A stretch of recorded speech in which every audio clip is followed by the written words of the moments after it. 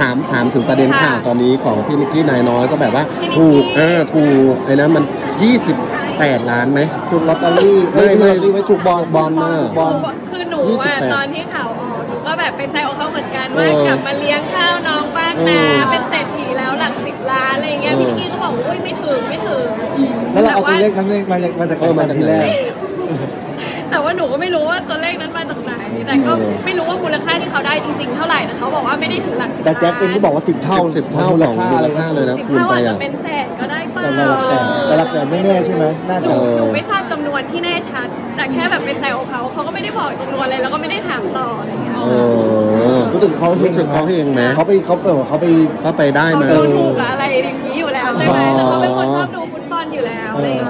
งี้ย ก่งถูกเขาเลยเก่งถูกเออยิ่งเป็นทีมที่แบบว่า เวลาที่เขาเชียร์แมนยูใช่ไหมเขาก็จะแบบว่ามีความเชียร์ทีมตัวเองแต่อันเนี้ยเขาไปดูคู่อื่นเออเขาก็เลยแบบว่า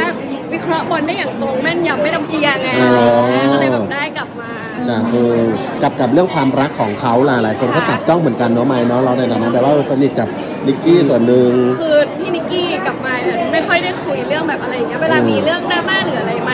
เข้าไปถามแบบว่าอยากรู้อะไรมากก็ถ้าพี่เขาสบายใจก็เล่าให้เราฟังอยู่อะไรเงี้ยเราก็มีแต่แบบว่าเออให้กำลังใจเขาเพราะว่าไมค์ก็รู้จักกับทั้งพี่ก้อยกับพี่นิกกี้นะคะก็ให้กำลังใจทั้งสองคน แต่ว่ารอบหน้าก็ฝากถามมาเลยนะพวกพี่อยากรู้ อยากรู้เอโอ้อพี่อยากรู้เออ แบบนั้นเขาตอนนี้เหมือนเขาถูกจับจิ้นกับทั้งแบบโปรรัน แล้วก็แบบมีข่าวกับมิสเวียดนามอันนี้เราพอรู้ไหม